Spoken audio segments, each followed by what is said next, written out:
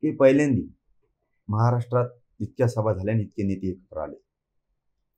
ही मराठ्यांची एकजुटीची भीती आता मताची सुद्धा भीती कोण पडल कोण निवडून याच्याशी आम्हाला नाही देणं घेणं. मराठ्यांची भीती इतकी यांना महाराष्ट्रात राहावं लागलं. इथंच मराठ्यांचा विजय झाला आहे. आणि याला जोडून पहिल्यांदी फडणवीस साहेब खरं बोलले. पहिल्यांदी त्यांना त्याच्याबद्दल आम्ही मार्क देतो. कारण त्यांनी कुठंतरी प्रेस घेतली आणि त्या प्रेसमध्ये सांगितलं जरांगे पाटील हे कोणत्याच पक्षाकडून नाही. त्यांना पत्रकार बांधवाने प्रश्न विचारला त्यावेळी. युतीकडून येत ना महाविकास आघाडीकडून. पहिल्यांदा ते खरं बोललेत त्यामुळे त्यांना मार्क द्यावा लागते आणि दुसरं असं की ज्यांच्यामुळं जातीवाद व्हायला लागला महाराष्ट्रात त्यांना त्यांनी खड्यासारखं बाजूला सारली. त्याच्यातही मार्क द्यावा लागतील. फक्त आता एकच पुढच्या काळात मला राजकारणात यायचं नाही माझ्या समाजात सुद्धा यायचं नाही.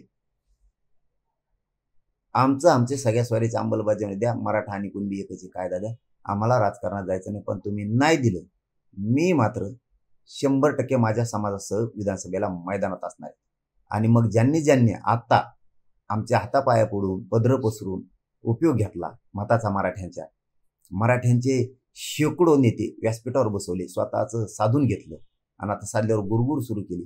त्यांना सुद्धा पुढं विधानसभेला त्याला उभा राहायचं आहे मग त्यांनाही त्या टायमाला कळत मराठ्यांची ताकद काय? कारण त्यावेळेस मी ओपन नावानं बोलणार. ह्यावेळेस तरी म्हणत होतो पाडा समाजाच्या खांद्यावर जबाबदारी.